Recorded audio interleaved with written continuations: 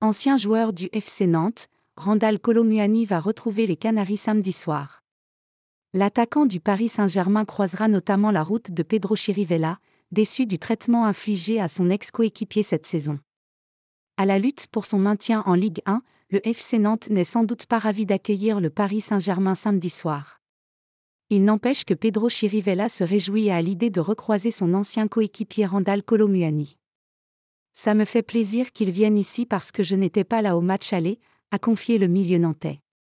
J'ai envie de voir comment il va, de parler avec lui. C'est un mec incroyable qui m'a donné beaucoup de moments incroyables ici, des moments heureux.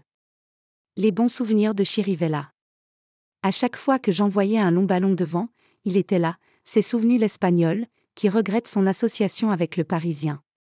C'est surtout ça qui me manque avec lui. On parlait beaucoup de ce timing entre jeu long et jeu court. Avec ses qualités, pour un milieu de terrain comme moi qui aime bien lancer les attaquants, c'était facile.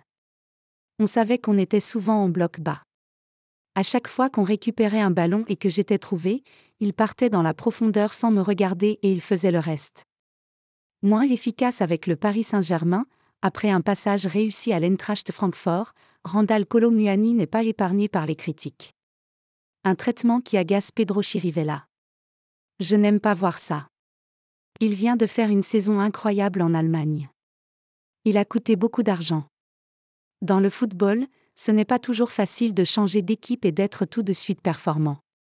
Mais je pense qu'avec son état d'esprit et sa façon de travailler, je suis sûr qu'il va faire taire toutes les critiques, a annoncé le Canari, qui s'attend donc à voir l'international tricolore briller de nouveau à la Beaujoire.